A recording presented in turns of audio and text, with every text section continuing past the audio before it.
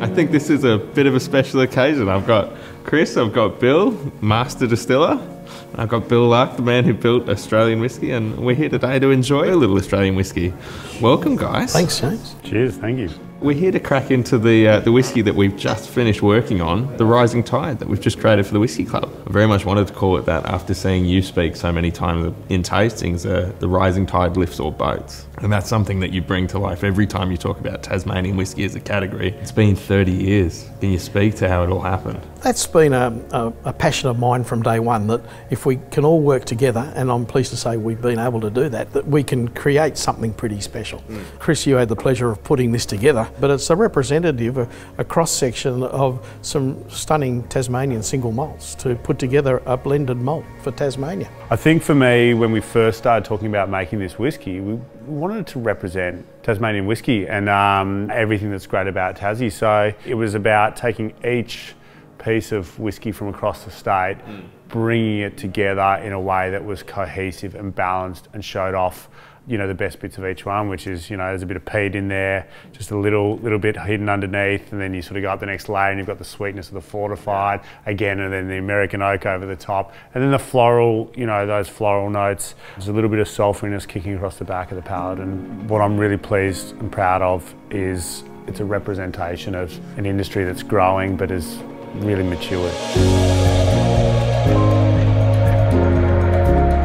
It was almost a bit of a bit of fun for us while you were starting to send us samples of, you know, getting the components of this is really rich and funky and this is really bright and sweet, and starting to see some of those classic Tasmanian single malt characteristics sitting in the glass, but sitting next to each other, which is quite a unique experience, I think. I mean, I'm holding this glass, I really want to drink this whiskey. drink it, drink it, that's what it's there for. It hasn't stopped me.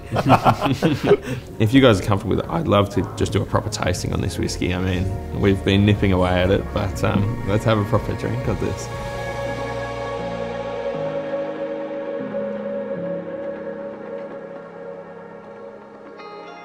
Well, I'm just getting such a beautiful, clean nose full of nuts and dried fruits and all those really lovely things that you'll expect to get from some of the barrels that you've chosen, Chris.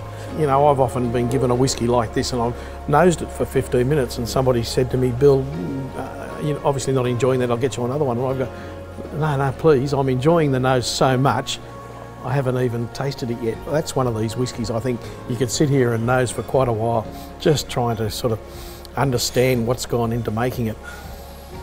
It is actually.